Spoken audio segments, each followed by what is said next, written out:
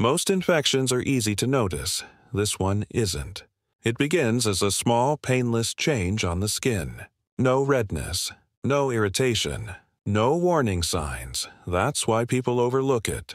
But inside the body, this bacteria produces a substance that quietly blocks pain signals. Not to heal, but to stay unnoticed.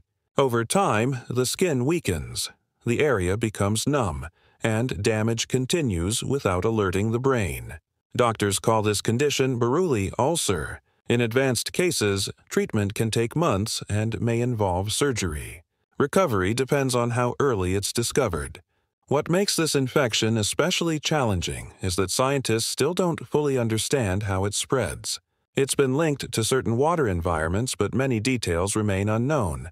That's why early awareness matters. If you want more real medical cases explained clearly and responsibly, subscribe for the next episode.